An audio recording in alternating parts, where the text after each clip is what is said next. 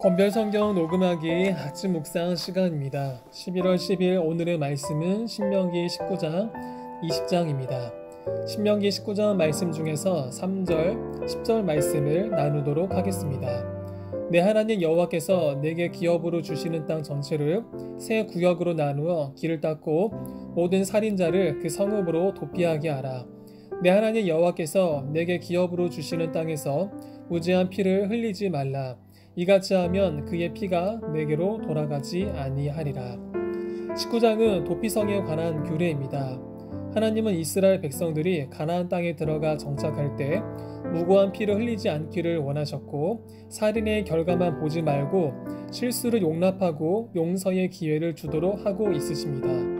이를 통해서 오늘날의 우리에게도 결과보다 마음속의 의도가 중요함을 가르쳐 주십니다. 하나님은 우리가 이웃의 것을 탐내지 않고 이웃을 해하려는 마음을 품지 말고 오직 사랑으로 살아가기를 원하십니다. 하나님이 우리를 사랑하시는 것처럼 이웃의 실수를 이해하고 사랑하며 살아가는 우리 모두가 될 수 있기를 소원합니다. 이어서 신명기 20장 3절, 4절 말씀을 나누도록 하겠습니다.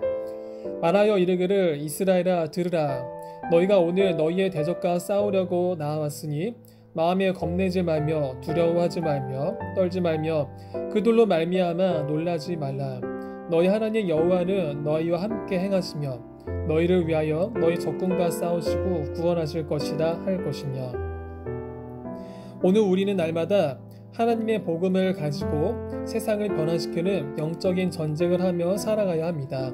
영적인 전쟁을 치를 때 힘을 다하며 화평한 마음으로 준비하고 믿음의 터전 위에 굳게 서서 하나님의 도움을 구하면 하나님께서 승리할 수 있도록 이끌어 주십니다.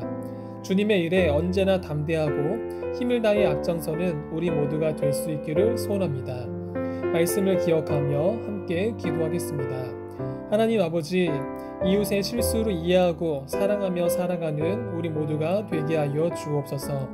주님의 일에 언제나 담대하고 힘을 다해 앞장서는 우리 모두